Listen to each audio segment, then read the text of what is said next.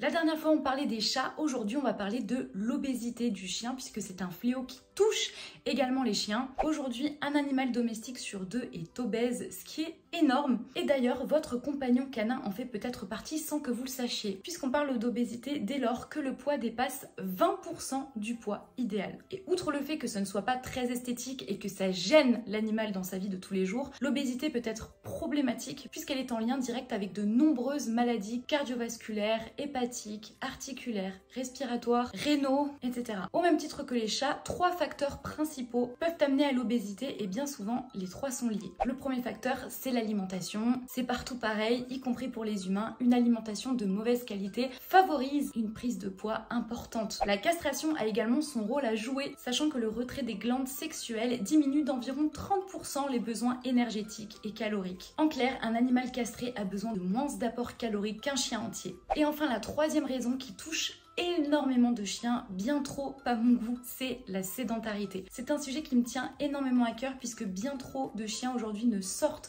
pas suffisamment de chez eux, sont quasiment jamais promenés. Beaucoup de chiens qui vivent dans un jardin ne sont quasiment jamais sortis. Un chien qui ne sort jamais ne va pas dépenser les calories qu'il va ingérer, bien souvent en trop grosse quantité. La génétique peut avoir un rôle à jouer puisque certaines races de chiens sont plus sujettes et propices que d'autres à l'obésité.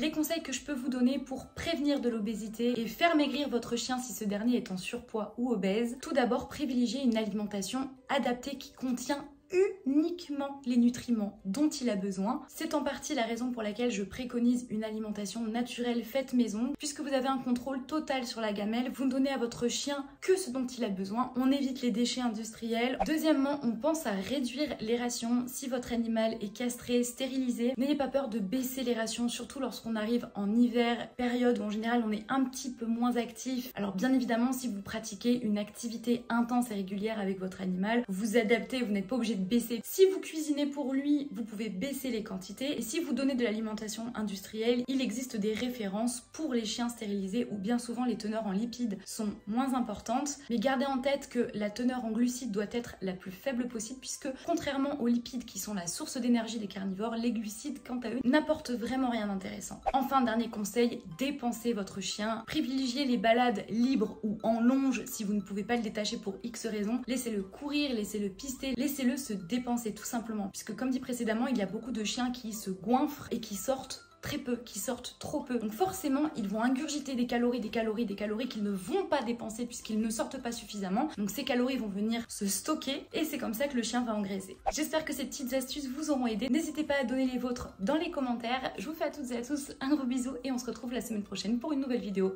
à sur au poil.